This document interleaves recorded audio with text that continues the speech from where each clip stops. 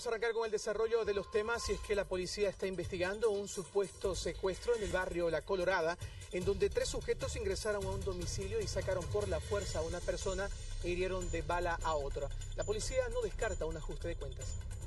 En su domicilio se encontraba Juan Parada, acompañado de dos amigos, uno de ellos el señor Gardo Silva. De repente ingresan a la casa un colombiano y dos bolivianos, quienes increpan al señor Gardo y en un intento de defender a su amigo, el señor Juan resultó herido de bala, momento aprovechado por los antisociales para secuestrar al señor Silva y huir del lugar. Una vez eh, hechos los disparos, eh, secuestran al señor Gago, eh, llevándoselo en un auto color plomo con destino desconocido.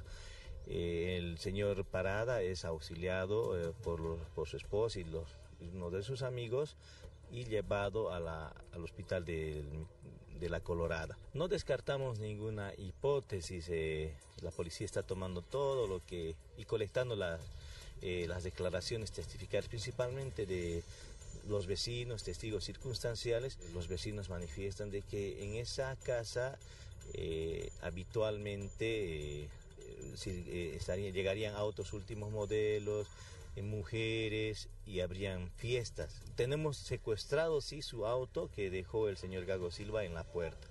A nosotros nos parece, estamos eh, indagando, ¿no? Porque ellos llegaron minutos antes de que lleguen los tres eh, antisociales. Se conoce que uno de los implicados en este hecho de intento de homicidio y secuestro es el hermanastro del señor Juan Parada, mismo que ahora se recupera del impacto de bala en una clínica privada. Bueno, el señor Juan Parada Ruiz, de 43 años, llegó esta mañana a mediodía con una lesión producida por el impacto de una bala en el hombro izquierdo.